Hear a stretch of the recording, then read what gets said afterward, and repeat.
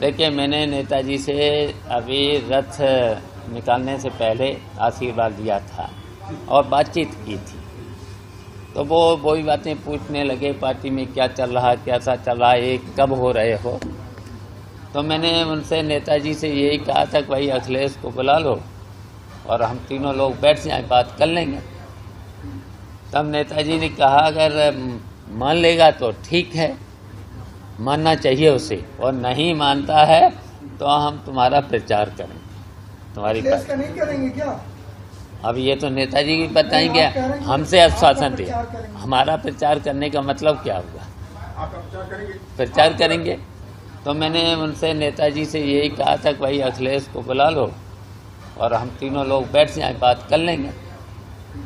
तब नेताजी ने कहा अगर मान लेगा तो ठीक है।